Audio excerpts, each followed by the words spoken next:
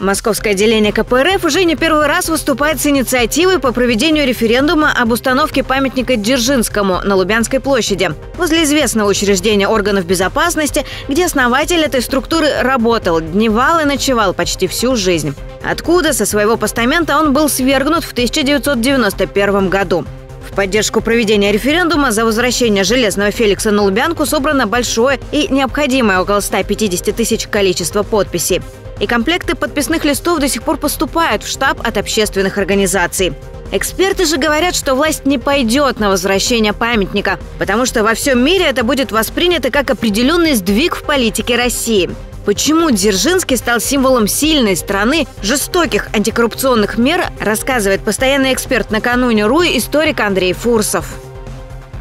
Дело в том, что Дзержинский с самого начала относился к той части большевиков, которых условно называют имперцами. Это были сторонники сильной централизованной власти. К этой же группе относился Сталин.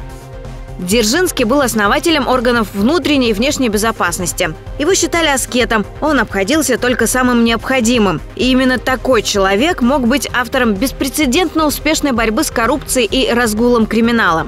Также он навел порядок на железной дороге, спас 5 миллионов беспризорников, организовав детские коммуны и детские дома. Подчиненные коллеги любили Дзержинского, до сих пор на Лубянке можно увидеть его портреты. Он заслужил народную любовь, несмотря на свои жестокие меры. Вообще абсолютная социальная справедливость недостижима. Но в советской системе не было принято тыкать в лицо людям, что ты богатый, что ты ездишь за границу, что ты отличаешься от других тем, что ты можешь позволить себе купить майбах и так далее. Вот в совсистеме этого не было. И протест против этой несправедливости, поскольку социальная справедливость – это одна из центральных ценностей русской цивилизации, он принимает различные формы.